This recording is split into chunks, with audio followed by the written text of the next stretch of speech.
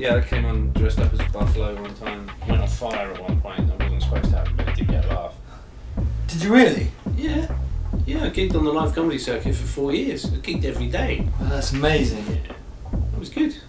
A lot of mates say that I'd be good at comedy. You. Yeah, 'cause they, they, they say I'm quite observational. Alright, live at the Apollo, go.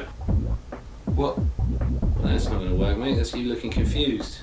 There's an audience of millions at home going, "What? just, just sorted on gone, what? I, I give you another chance. Live at the Apollo, go. I, isn't it I funny? fucked your mum. What? No, it was a heckle. I was doing a heckle. Alright, well, let's. Let's see your set. What, here? Arena sort of comedian. Let's do some one. Was it, was it good? Yeah. Yeah, I don't think you'd have got it.